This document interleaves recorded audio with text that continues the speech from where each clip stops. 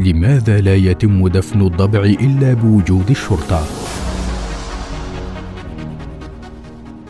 الضبع حيوان من الثدييات التابعة للطائفة الكلبية.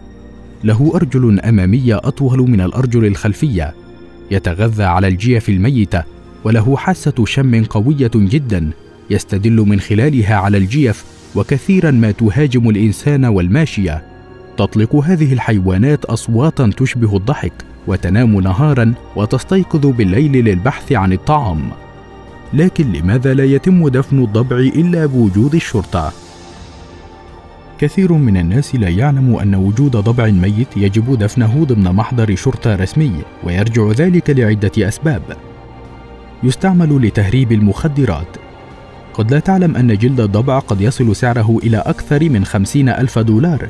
حيث يستخدم هذا الجلد في تهريب المخدرات حيث أن هذا الجلد لا تخترقه أشعة الماسح الضوئي فكل شيء يكون بداخل هذا الجلد لا يتم كشفه. يستعمل بالسحر الأسود. بعض أجزاء المخ للضبع يستخدمها السحرة للقيام بالسحر ويبحث عنها بكثرة خاصة لعمل ما يسمى بالسحر الأسود. يستعمل لإحداث الجنون للبشر. يستعمل سائل المخ للضبع لإحداث الجنون لكل من يتناوله حيث يستعمل هذا كترياق مسبب للجنون وقد استعمل قديما بشكل كبير. كذلك يستعمل بوله لطرد الكلاب. عند شم الكلاب رائحة البول للضبع تهرب من المكان وإذا شم الحمار رائحة اقتراب الضبع قد يموت من الخوف في الحال.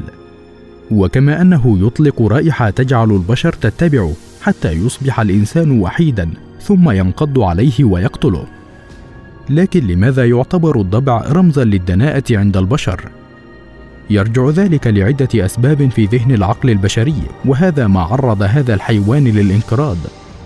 الضبع حيوان يعيش على الجيف ويأكل ما هو ميت وعفن مما يجعله غير متقبل من قبل البشر. الضبع يقوم بأكل فريسته وهي حية بعكس الحيوانات المفترسة الأخرى. مما يجعله حيوان حقير. الضبع لا يضيع فرصة واحدة للهجوم على البشر دون أن يستغلها مما يجعله من الحيوانات التي تغدر بالبشر وكذلك يوصف بالغدار. الضبع يصدر أصواتا منفرة للبشر مما جعلها مكروهة للبشر وهي من الحيوانات التي لا يرغب الإنسان بمشاهدتها.